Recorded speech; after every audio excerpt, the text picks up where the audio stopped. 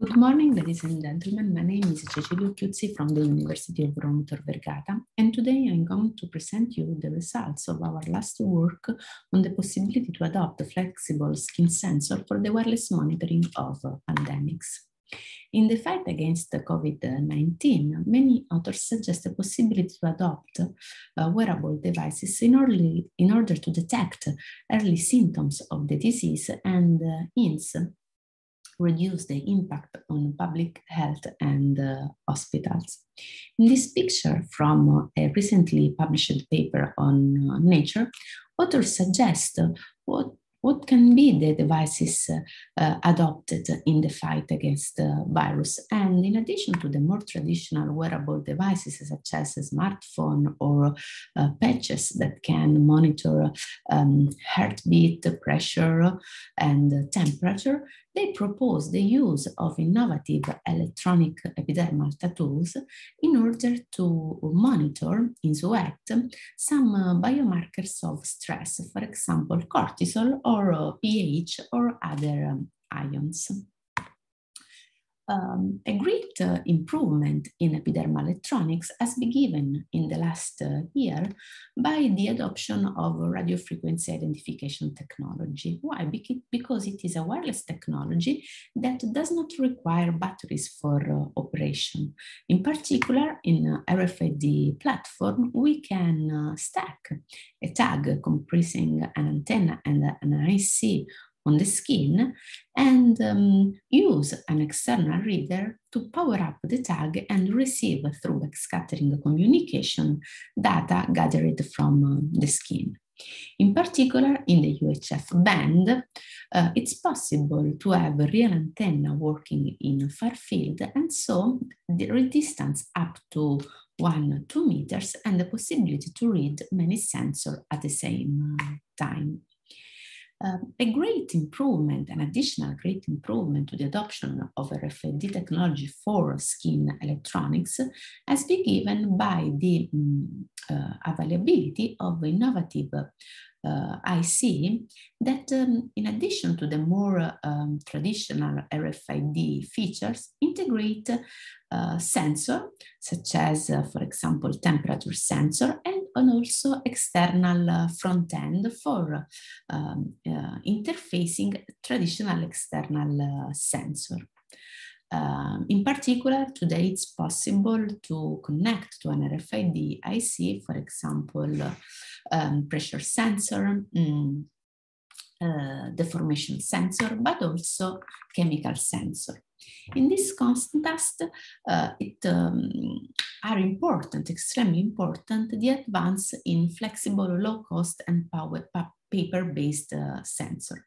In particular, it's possible to print um, sensitive material on flexible substrate, such to have biocompatible um, electrode directly stacked on the skin. And uh, in order to avoid complex uh, microfluidics uh, circuits, um, some authors propose the possibility to use instead cotton pad or papers that can embed um, water, so sweat, and uh, put uh, the, the electrode in contact with the uh, sampling, um, the sampling fluid. Uh, by considering so uh, sensing oriented IC and uh, printed chemical sensor, we um, developed an epidermal loop capable to um, interface up to two chemical sensor and one physical sensor. In particular, the loop as a, the, the, the, the, skin sensor as a loop structure. Here you can see the uh, distribution of the currents on the radiating element and integrates a sensing-oriented IC uh, SL900A. The, the, board can work in both logging mode and real-time uh, mode thanks to an additional battery that can be put on one side of the, of the board. It has, as I told you, a multi-electrode interface, and these uh, electrodes can be changed without uh, modifying the structure of the, of the board. And um, they, uh, it has also a LED button to um, identify the status of, of the board and uh, a, a, a, button, a, a physical, uh, a mechanical button for starting and stopping the operation. This is the scheme of the analyte acquisition in SWET.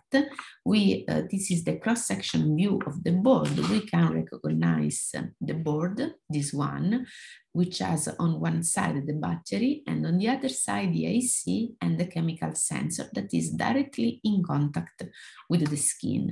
Although we have a battery and some uh, circuitry, that the thickness of the, the board is less one of is less than one centimeter. So it's uh, uh, fully compatible with traditional epidermal uh, devices.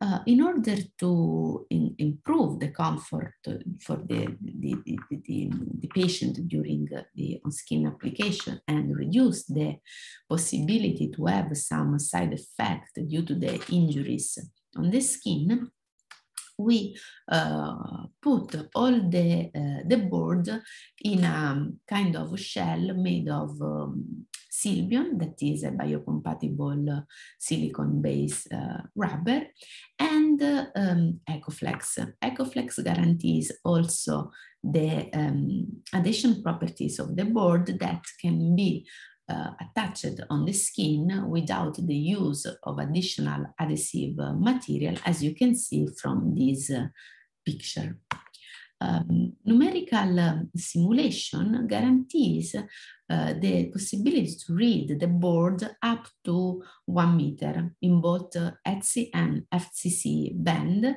um, depending on the configuration of the board. In particular, with battery, we can arrive up to one meter. Without battery, it should be possible to read the, the, the board around, mm, from around 30, 40 centimeter. Once we prototype the board, we um, start with the electromagnetic uh, simulation. You see here what we did in terms of uh, characterization of the um, communication feature, um, uh, respect the different uh, body location and different subject.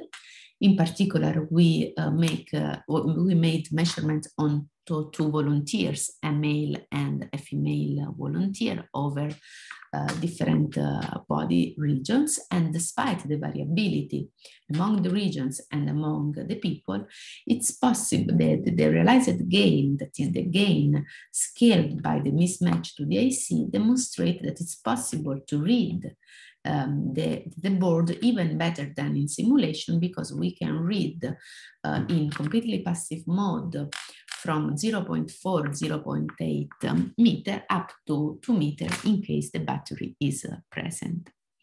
Uh, once uh, characterize the um, communication properties, we characterize the sensing properties. Uh, at the bench, we compare the um, data uh, gathered from our sensor uh, with uh, traditional potentiometric measurements given by uh, PalmSens. Here you see a picture of the setup uh, in which you can recognize two sensors in which we put uh, some drop of um, sweat at a different concentration of both pH and ions. And in particular, we were able to read contemporarily up to two chemical sensors of pH and sodium and a physical temperature that is a physical sensor that was temperature. Uh, these are two examples of uh, results for different concentration of um, pH and uh, sodium. And uh, this data must be compared with the PalmSens uh, results. And as you can see, um, for both sodium and pH, we have a very good agreement with the, the traditional uh, wired sensing um, device.